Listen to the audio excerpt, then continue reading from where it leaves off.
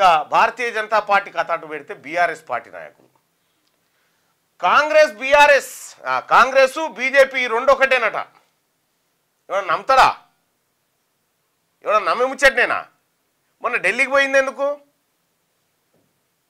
మిమ్మల్ని విచారించాలని మిమ్మల్ని అరెస్ట్ చేయాలని చెప్పి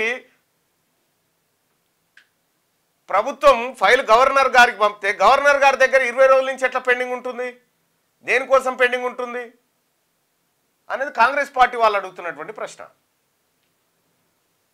గవర్నర్ గారు ఎందుకు అనుమతిస్తలేడు కేటీ రామారావు విచారణ కోసం అనేది ప్రజల్లో వస్తున్నటువంటి సందేహం. ఎవరిని ఎవరు కలిసిరు అన్నట్టు ఇక్కడ? ఢిల్లీకి పోయి వచ్చినావు. ఖట్టర్ను కలిసినా అని చెప్తివి. కలిసింది కట్టర్నా? లేకపోతే మోడీనా అదానినా అంబానీనా? ఎవరిని కలిసి వచ్చినావు అక్కడ? ఇది స్పష్టం చేయాలి. ఇవాళ కవిత గారు జైలుకు పోయిరు ఆమె ఆమెకు రెండు కేసుల్లో బెయిల్ వస్తుందన్న విషయం ప్రపంచం కంటే ముందు మీకు ఎరక. మీకు ఎరక.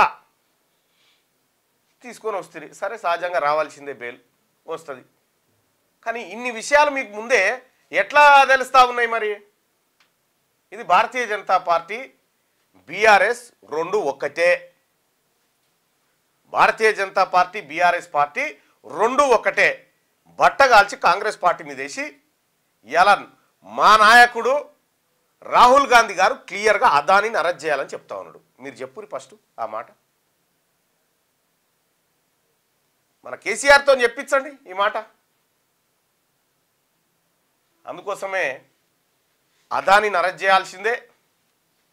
ఈ సెబీ ఏది సెబీ డైరెక్టర్ గారు ఎవరైతే ఉన్నారో ఆమె ఆ తర్వాత ఈ ఇండియన్ బర్గ్ రిపోర్ట్లు వీటన్నిటి మీద జాయింట్ పార్లమెంటరీ కమిటీ వేసి విచారణ చేయాల్సిందే.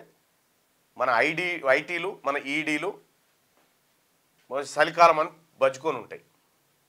ఇక సామాన్యుల మీద భారతీయ జనతా పార్టీకి వ్యతిరేకంగా ఉన్న వాళ్ళ మీద వీటి మీద పనిచేస్తూ ఉన్నాయి అవి. ఇది వంద శాతం ఆరోపణే. మేము చేస్తున్నటువంటి ఆరోపణ. మీరు తెలుగులో అనర్గళంగా రాయగలరా? స్పష్టంగా మాట్లాడగలరా? మాటలకు తగ్గట్టు అభినయించగలరా? అయితే ఇంకెందుకు ఆలస్యం? క్యూనిస్ మీకు ఒక మంచి అవకాశాన్ని ఇస్తుంది. క్యూనిస్లో పనిచేయటకు లేడీ యాంకర్స్ కావలను. సంప్రదించవలసిన number eight six double eight nine two six zero eight four. క్యూనిస్ ads at the rate Gmail dot కామ్ను సంప్రదించండి. లైక్ చేయండి.